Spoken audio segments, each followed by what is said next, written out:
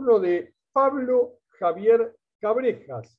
Él es empresario, es fundador del Centro Cultural Alejandro Olmos, secretario institucional de la Comisión de Asociados del Banco Creditop y la Ciudad Autónoma de Buenos Aires. Como podemos ver, Pablo Javier Cabrejas, participante muy activo de distintas organizaciones con un gran compromiso social, entendiendo que la paz y la justicia social son conceptos indivisibles. No se puede lograr una sin la otra.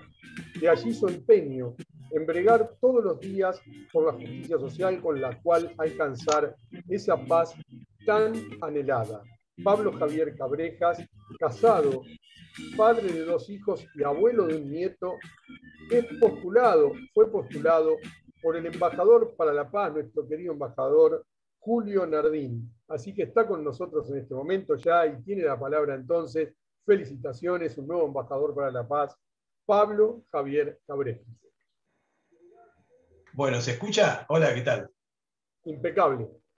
Bueno, eh, la verdad estoy muy honrado de ser nombrado embajador de la paz, pero sería injusto si no nombro a todos los que hicieron posible el trabajo solidario de toda mi vida, como es Juan Pablo, Laura,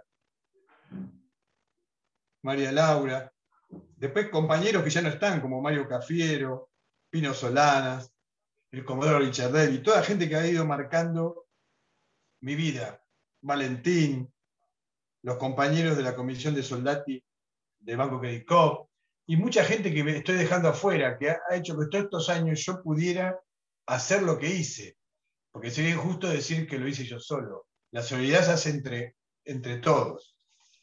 Y, y solamente quería decir que me honra esto de la paz, y solo quiero decir que para mí la paz no es la ausencia de la guerra. La paz es la presencia de la justicia. Sin justicia no hay paz.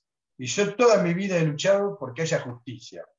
Porque haya justicia con el hambriento, justicia con el perseguido, justicia con los refugiados, justicia con los despreciados. Porque como decía Jesús, muy sabiamente, cuando le das de comer a uno, me das a mí, cuando visitas un preso, me visitas a mí, porque Jesús está en el otro. Y bueno, y la verdad, muy honrado y muchas gracias y todo lo que pueda colaborar con ustedes, llámenme que voy a estar ahí presente.